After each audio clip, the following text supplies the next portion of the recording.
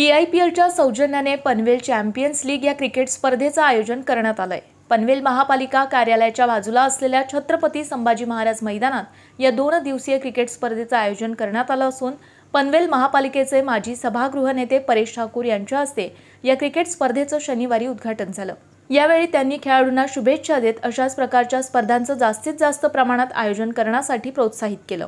या स्पर्धेतील प्रथम क्रमांकास चाळीस हजार आणि सन्मान चिन्ह तसंच दुसऱ्या क्रमांकास वीस हजार आणि सन्मान चिन्ह देऊन गौरवण्यात येणार आहे.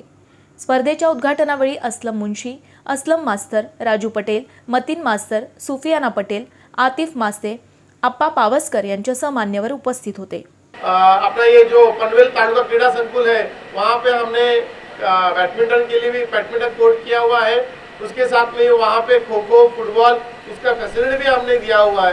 तो इस तरीके से अगर आप ये सभी फैसिलिटीज़ है, इसका अगर आप इस्तेमाल अच्छे तरीके से करने वाले तो हमें महानगर पालिका को, आपको ये सब चीज़ें देने में ज़्यादा ज़्यादा आनंद होगा। आप इस, इन सभी चीज़ों का अच्छी तरीके से इस्तेमाल कीजिए। इस तरीके से आप ज़्यादा ज़्यादा यहाँ पे मैचेस आप ऑर्गेनाइज कीजिए। ज़्यादा ज़्यादा इवेंट ऑर्गेनाइज कीजिए। हम आपको लिए हमेशा हम से रहेंगे।